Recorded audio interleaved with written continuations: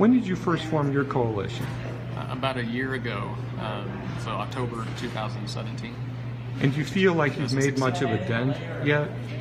Um, yeah, I, I think that we have um, you know, made a difference in terms of getting the key uh, stakeholders and providers together, you know, talking and, and working out possible uh, solutions and recognizing the barriers that, that uh, prevent us from providing effective services.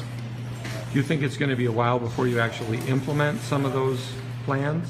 We're hopeful, um, you know, that early uh, 2018 that we'll be able to start implementing some of the, the things that we've identified as goals.